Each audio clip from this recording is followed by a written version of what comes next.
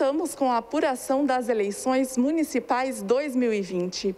Até o momento, aqui em Santa Maria, somente 15,71% dos votos foram divulgados, o resultado das urnas foi divulgado. Porém, segundo o Tribunal Superior Eleitoral, a apuração está seguindo de forma normal. O que está demorando é a divulgação das informações.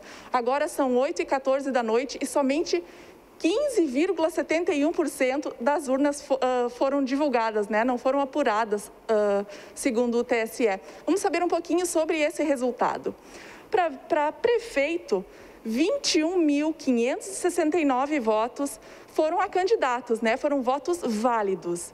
Já 1.110 brancos, 965 nulos. Já para vereador, a votação está um pouquinho diferente.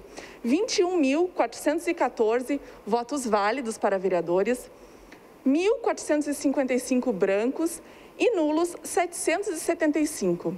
Continue conosco, que a qualquer momento podemos trazer os dados atualizados, os dados finais da eleição, que conforme o TSE podem ser divulgados a qualquer momento. TV Câmara nas eleições 2020.